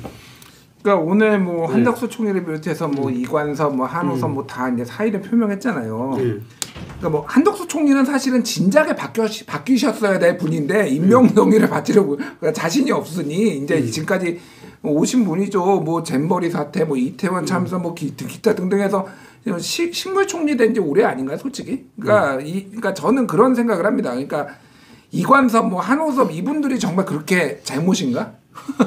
그러니까 제가 보기엔 모든 잘못은 대통령이에요. 그러니까 대통령이 바뀌어야지 이 사람들 물론 이제 사람들한테 보여주기 위해서는 뭐 이제 대대적인 개각 뭐 인적 쇄신도 필요하죠. 근데 이분들이 직원을 안 했을까? 제가 들은 것만 하더라도 여러 차례 이번 선거 앞두고도 이렇게 해야 된다, 저렇게 해야 된다, 이렇게 가가지고 관저까지 가가지고 얘기했다가 야 다 꺼져 이런 이런 얘기까지 다 들으면서 다 나오신 분들이에요. 그러니까 그러니까 이거는 대통령이 안 바뀌면 안 돼요. 그러니까 대통령이 근데 바뀔 준비가 돼 있냐? 제가 뭐 그 얘기를 다른 방송에 했어요. 어 사람이 바뀌면 죽는다고. 예. 그러니까 그 얘기는 쉽게 얘기하면은 사람이 바뀌는 게 그렇게 어렵다는 얘기죠. 음, 음, 음. 대통령이 바뀌실 분 같으면은 그러니까 이번에 51분 담화를 그렇게 하시지 않으세요. 예, 2천 명 그렇게 음. 여당에서 거의 울며 매달리면서 이거 좀 음, 음. 조정 좀 해달라 선거 앞두고 지금 이게 불리한 작용이 있다 그렇게 얘기를 하는데 나와가지고 모두가 기대를 했잖아요. 야 드디어 음. 대통령이 정치를 하나 보다 정무적 감각이 인제 발휘되나 보다 그랬는데 거기에서 기득권 카르텔에 협파하겠습니다. 단 한 명도 줄일 수 없습니다. 이게 그러니까 대통령이란 말이에요. 윤석 저는 안 바뀐다고 봅니다. 솔직히 얘기하면 바뀌어야 되는데 갖고 고려하겠댔죠. 정무적인 판단은 어쨌든 거기에서 그 의사들을 자극하는 기득권 카르텔 이런 얘기를 하실 게 아니죠. 그러니까 뭐 어찌 됐든 하니까 그래서 저는 송국권 본부장님 우리 우리 선배님이 말씀하신 거 다 맞다고 봐요. 다 맞는데 대통령이 안 바뀔 거다. 음. 대통령은 바꾸실 분이 아니에요. 그렇게 예. 생각을 하면은 바뀌어도 안 바뀌었다고 이야기를 해요. 야당에서는 바뀌어도 안 바뀌었다고 이야기를 하는 거예요. 그럼 바뀌도록 계속 만들어야죠. 저는 윤석열 대통령이 아마 생존권 차원에서 바꿔야 될 거다 이래 봅니다. 왜냐하면은 박근혜 최근에 중앙일보에서 해고라고 냈잖아요. 예, 예. 우리가 뭐 그 얼마 전 사실이니까 뭐 다들 잘 알고 있지만 가장 그 가정을 스펙트럼하게 스펙타클하게 아는 거는 윤석열 대통령이거든요. 박근혜 대통령이 어떤 가정을 거쳤는지 촛불 시민혁명이 5만이 되고 10만이 되고 이게 50만이 되고 이럴 때 박근혜 대통령이 조금씩 조금씩 1차 사과, 2차 사과 그 다음에 드디어 야당의 손을 내밀어요. 국무총리 그 이 국회에서 합의하면 자기가 국무총리를 그 이게 그 사람으로 그걸 이 하겠다고. 그때 된 게 김병준 그 이 위원장 비대위원장을 그 했었죠. 김병준 위원장이 그 당시에 그 총리로 이렇게 이야기하고 그런데 그 사과와 자기의 그 나름대로의 조치가 너무 한 발씩 늘 늦게 됐어 늦게 돼. 늦게 되다 보니까 결국에는 그 여야 모두가 탄핵을 요구했던 게 아니, 아니었죠 처음부터. 그렇죠. 탄핵을 요구한 것은 촛불 이 시민들이었어요. 촛불 국민들이 대통령 탄핵을 갖다가 요구했던 거지. 국회에서는 여야 정치권에서는 그러지 않았어. 근데 한 템포씩 늦추다 보니까 그렇게 계속 가버린 거죠. 이제는 아무도 어찌할 수 없게 자기 그 친박들이 어, 거의 반 정도가 민주당으로 해서 탄핵 그 발의가 돼버리고 그런 꼴을 당하게 된 것은 자업자득이다 저는 그렇게 봐요. 예. 그런데 저는 이 윤석열 대통령이 그 과정을 잘 받고 해고록도 뭐 일부 내용은 제가 볼 때 문제 있는 내용들이 문제 있게 기술이 돼 있지만 어쨌든 그 과정은 그때 자기의 그 감에도 나와 있어요 이게 그저 과정을 잘 봤기 때문에 윤석열 대통령이 한 발 늦추지 말고 좀 한 발 앞서서 하는 식으로 해라 제 이야기는 뭐냐면은 이 현재 이 진솔한 인적 쇄신 그 다음에 뭐이이 언론과의 어떤 소통 진솔한 사과 뭐 이런 이야기를 했는데 저는 그 부분에서 인적 쇄신에서 가감하게 이재명 대표를 만나서 예를 들면은 국무총리에 대해서 가감하게 국회에 던져주라는 겁니다. 이게 그거는 노무현 대통령 자기가 존경한다 했잖아. 노무현 대통령도 당시에 그 연정하자고 대연정을 제안했고 그걸 박근혜 대통령이 참 나쁜 대통령이라고 거부했잖아요. 이게 그 저는 이 그 과정도 아마 윤석열 대통령이 잘 할 겁니다. 이 역사에 대해서는 아주 재밌어하고 많이 알고 있다 고 그러더라고요. 그 지금 박근혜 대통령이 마지막 탄핵을 어떻게 갔는지 그 당시 아까 그 2016년도 선거 이 122석입니까? 122석. 하고 민주당이 123석입니까? 예. 예. 그래서 정세균 국회의장이 탄생하게 됐고 탄핵으로 간 거거든요. 단 한 석 차이 가지고 국회 주도권을 야당이 주면서 간 겁니다. 지금은 뭡니까? 100석이 뭐 안 넘어졌다는 이- 이야기지. 전체 보면은 108대 192승 이렇게 돼요. 이 속에서 지금 완전히 이 자체가 금방 말한 대로 식물 대통령입니다. 예. 그러면 식물 대통령으로 3년간 국정 운영을 어찌할 건가 저는 마지막 기회가 주어졌다. 이 마지막 기회를 모든 것을 가- 내려놔야 된다 봐요. 내려놔서 이거는 여당과 대 야당과 대연정 협치 차원이 아니라 대연정 속에서 국정을 같이 운영한다는 그 각오가 없고 거기에 대한 조치가 없다면 아마 국정 운영 어려울 것이다. 지금 금방 말씀하신 대로 최상병 특검이나 이런 부분들 넣으면은 지금까지 알려진 바만 보더라도 탄핵 사유가 될 수 있는 부분들이 얼마든지 있거든요. 그래서 저는 정치는 그래 하는 게 아니다. 국민들이 그걸 하나하나 하는 게 아니라 지금 또 우리가 그 헌정 중단을 바라지 않아요. 예. 저는 그렇게 생각합니다. 그렇기 때문에 그 부분 할 수 있는 마지막 기회는 본인이 대연정의 손을 야권의 이재명 대표한테 이 손을 내밀어야 된다. 저는 뭐 그렇지 않는다면은 금방 이야기한 대로 어떤 이 미봉책이나 이런 걸 한다면은 계속적으로 몰리고 그리고 국민의힘이 자체적으로 이 부분을 수습해서 이 뚫고 나갈 만한 저는 힘이 없다고 봅니다. 지금 현재. 그래서 대통령이 그런 결단이 필요하다고 보는 거죠. 이게 그 예를 들어서 DJ의 민주당, 정- 정통 민주당 아무런 사적 이해 가격 없는 민주당이라면은 충분히 지금 할 수 있는 카드죠. 지금 말씀하신 게 네. 대연정 총리도 그러면 국회에서 추천해줘. 그러면 다수당이 추천하는 거 민주당이 추천하는 거잖아요. 네. 그런데 이게 뭐냐면은 지금 이재명 조국 체제는 사적인 이해, 이해 타산이 들어가요. 사적인 이해 타산이 들어갑니다.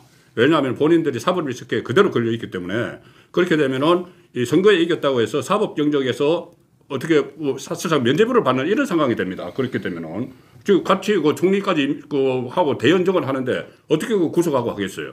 그래서 이거 저는 그 방법은 좀 위험하다고 보는 것이 선거에 이겼다고 해서 본인 개인의 그 두 사람의 개인의 그 어떤 이 사법적 그 범죄 혐의가 이게 그냥 셀프 구제가 돼버리는 이 상황이 될 수가 있기 때문에 그저 잘못된 신호를 저는 그 사회 전반에 잘못된 신호를 줄 수 있다고 봅니다. 아무리 그러면 범죄를 저질렀고 대 2심에서까지 형, 징역형을 받았어도 선거에만 이기면 그 모든 것이 clear되고 이 하는 거 그것은 저는 좀 위험한 위험하다고 봅니다. 김준일 평은 어떻게 생각하십니까? 그러니까 저는 대연정 좋은데 그러니까 타이밍이 있는데 지금은 대연정의 타이밍은 아닌 것 같아요. 저도. 그러니까 뭐 송국권 선배님의 이제 의견 뭐 그거는 사법 리스크 해소 뭐 이제 자연 해소 뭐 말씀하신 건데 그거보다도 민주당도 원하지 않을 거예요. 안 받을 거고요. 그러니까 지금 국민의힘이 총리 권한 뭐 이런 걸 준다고 해서 이게 우리가 생각하는 그런 대연정이 될 수 있을 것인가. 조각권을 뭐 몇 개를 줘야 되는지 모르겠는데 생각보다 어, 큰 국정 운영의 전환, 대대적인 국정 운영의 전환이 있어야 되는데 윤석열 대통령은 그거를 받아들이기 힘들 거라는 거 보고 윤, 그러니까 이재명 조국의 사법 리스크가 있다라면은 여기도 마찬가지로 김건희 리스크가 있고 윤석열 대통령도 사실상의 저는 사법 리스크가 있다라고 봅니다. 그러니까 이게 서로 있기 때문에 이게 일종의 복수혈전, 복수극이 좀 이렇게 대연적으로 하기는 힘들어요. 저는 그거는 이 윤석열 대통령이 임기 초반에 1년 안에 사실은 뭔가 손을 내밀고 그러면서 우리의 국- 건설적 아, 아, 이거 어, 발전을 위해서 이렇게 손을 내밀었을 때 가능한 거고 지금은 이제 모두가 그 콜로세움에 지금 끌려 나온 상황이다. 예, 저는 그렇게 봅니다. 예. 예, 그 저- 그 너무 참 아름다운 얘기를 많이 해가지고 진짜 저는 동감하는데 네. 참 안타깝 지금 정치 환경이 그, 그 상황이 아니다. 정치는 움직이는 생물이라고도 뭐 그랬고 그리고 노무현 대통령도 보면은 한 자리수 떨어져 있을 때 대연정을 그 제안해줬어요. 그러니까 박근혜 당시에 그 한나라당 대표가 참 나쁜 대통령이라고 일거에 그냥 그 팽해버렸거든요. 예, 그런 부분에서 제가 말한 게 아직 아직 남아 있는 시간이 있다. 그래서 그 부분이 그 현재 아마 인적 쇄신과 그 다음에 정책 변화 그리고 그 국민 소통, 그 언론과의 그 대화를 통한 국민 소통의 변화 이런 걸 갖다가 해 나가더라도 아마 금방 인- 말씀하신 것처럼 여야 모두가 사법 리스크가 있는 상태에서 아마 국회에는 뜨거운 어떤 그 전쟁의 도가니에 들어갈 수밖에 없기 때문에 백약이 묘- 무효가 될 수 있고 그리고 국힘에서 이 자체적으로 이것을 뚫고 나갈 수 있겠는가 부분에 대해서는 뭐 지금 나경원이나 안철수 뭐 이런 부분들은 제가 생각할 때는 당정의 그 변화를 갖다가 아마 이 작심하고 계실 겁니다. 이게 그래서 여기도 비대위원장 그만뒀으니까 아마 그 윤 원내대표가 잠시 비대위원장을 하면서 전당대회를 같이 하겠죠. 이게 그래서 그것도 뭐 지켜봐야 될 거지만 예, 국민들 입장에서는 어쨌든 그 윤석열 대통령이 이거는 3분의 2가 국민이 거부했다. 그거 보는 게 맞는 것 같고 이번 총선에는 이게 대한 본인의 변화는 불가피하고 이 변화를 정말 국민의 그 민생에서 도움이 되는 방향으로 하는 데서 야당도 함께 갔으면 좋겠다. 이게 이 복수 열점을 할 것이 아니라 그 이런 생각이 듭니다. 그래서 마지막으로 그 한 분씩 이번 총선을 보, 보면서 이 소회를 갖다가 마무리해 주시기 바랍니다. 어 저는 사실 어제 그 출구조사 오늘 뭐 대표까지 보고 어, 상당히 걱정을 많이 했어요. 이게 이 어떤 진영의 문제가 아니고 정말 이게 앞으로 복수 설전이 벌어질 수도 있고 아니면은 완전히 윤석열 정부가 어, 이렇게 돼버릴 수도 있는 상황인데 이 오늘 저 특히 지금 이 자리에서 두 분하고는 제가 정치적 입장이 조금 다른 상황에서 이 두 분 하시는 말씀을 들어보니까 충분히 이 같이 나갈 수 있는 길이 좀 보이는 것 같아요. 좀 전에 말한 대연정 이런 것도 물론 제가 뭐 사적 복속심 이런 게 개입이 되면 안 된다고 했는데 그것을 또 제거하는 그런 방법도 있을 거고 그러니까 어, 어쨌든 지금은 국정 운영에 키를 진 사람 진 쪽은 민주당 쪽입니다. 민주당 쪽에서 이 좀 그 지금까지와는 좀 다른 완전히 대치를 하지 않고 국민을 좀 생각하는 그런 방향으로 나가고 뭐 윤석열 대통령이 더 그 할 부분은 많죠. 그, 그 방향에서는. 그래서 좀 슬기로운 좀 국민을 위한 해- 해법을 좀 찾아갔으면 싶습니다. 그 2016년 총선에서 이제 새누리당이 지고 난 다음에 전당대회가 열리고 어, 들어선 당 대표가 이정현 홍보수석이었어요. 사실은. 그러니까 이게 선거에 지면은 뭔가 어 이제 그거와 좀 대통령과 거리를 두고 이런 식으로 이제 변화할 거라고 예상을 하지만은 오히려 더 대통령을 중심으로 강하게 대통령에게 충성을 이렇게 보여야 된다라고 똘똘 뭉치는 경향성이 나타난 거를 과거에도 우리가 봤다라고 본다라면은 이번에도 정말로 2028년에 총선이 있으니 우리를 어, 공천하는 것은 윤석열이 아니다라고 해서 정말로 다 돌아설 것인가 저는 차기 전당 8월 전당대회 때 물론 주자들은 문제 비윤들 예를 들면 뭐 나경원 뭐 윤상현 뭐 이런 분들이 나오겠지만은 오히려 윤석열 대통령을 중심으로 더 똘똘 뭉치려고 하는 영남권 의원들이 상당히 많이 나올 것 같아요. 그러니까 그래서 굉장히 좀 여당이 어려움을 많이 겪을 것 같은데 이게 탄핵 트라우마가 또 있잖아요. 그러니까 이게 어, 보수 진영에서는 그러니까 이게 참 어려운 부분입니다. 좀이 이 그러니까 뭐 제가 뭐 탄핵을 원하진 않아요. 저는 진짜로 그 탄핵을 원하지 않는데 이게 굉장히 국가적으로 불행한 일이기 때문에 어 뭔가 조금 균형점을 지금 찾아야 된다. 어쨌든 여당이 야당도 물론 이제 해야 되지만 여당이 지금 어떤 스탠스의 변화가 없으면은 이건 굉장히 조금 앞으로 모든 게 다 정치적으로도 어려워지고 나라적으로 어려워질 것 같아요. 그래서 여당에서 우리 특히 이번에 아, 당선되신 많은 의원님들이 좀 많은 생각들을 판단을 하셔야 될 때가 온 것 같습니다. 그 저는 그 역사를 모르는 민족은 미래가 없다는 말이 있잖아요. 그 이거는 우리 국민들한테 또 특히 그 정치판에 그대로 적용되는 일이다.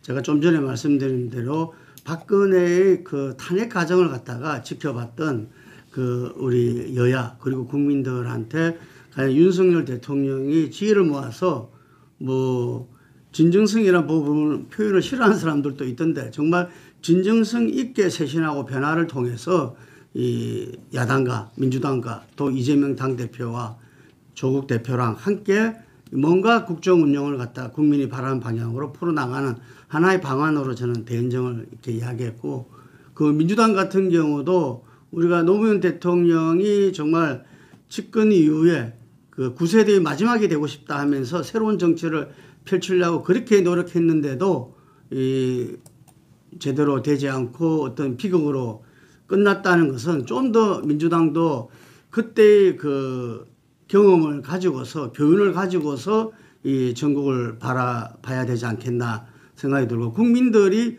백석을 갖다가 이렇게 저희들이 예측했던 백석을 갖다가 막은 거는 이 지혜를 갖고 이 야당도 하길 바란다는 그런 국민적 염원이 아닌가 싶습니다. 오늘 총선 평가와 전망 여기까지 하겠습니다. 감사합니다.